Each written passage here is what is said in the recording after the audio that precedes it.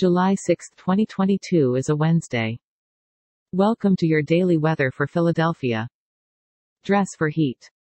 The temperature today should reach up to 89 degrees Fahrenheit and down to 72 degrees Fahrenheit.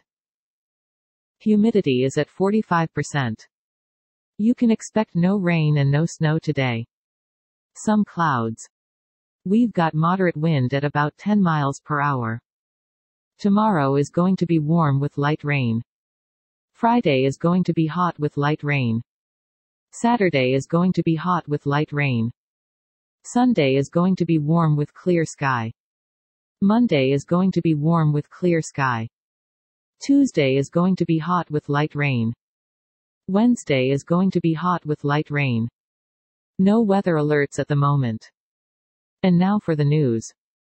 Warning, some news stories can be disturbing or offensive. Stories are provided by various sources.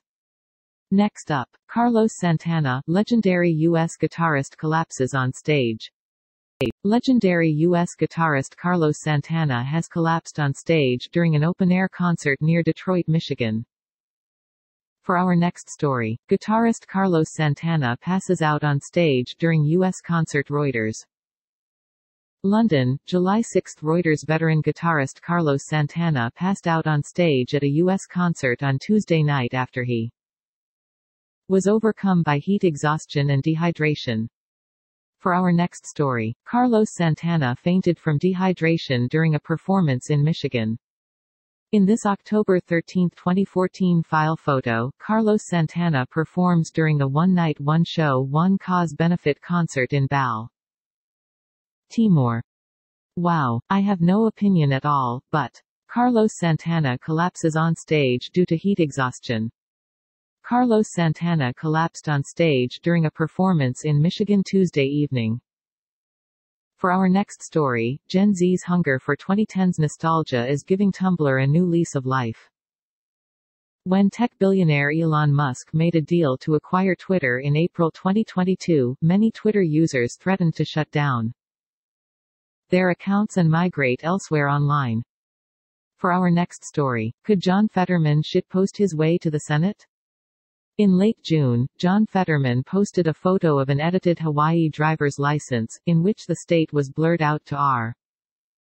EAD Pennsylvania, and the picture was replaced with Dr. In other Pennsylvania news, how the Dobbs decision will lead to attacks on free speech, or why Democrats need to stop undermining free speech. From the Protect Free Speech Now department we've talked about the unfortunate bipartisan attacks on free speech, which are best to you understood as attempts to control the narrative. That's it for today. Have a good one. To help support improvement of our show, please click subscribe. See description for sources. This content contains information from OpenWeather TM API, which is made available here under the Open Database License ODBL.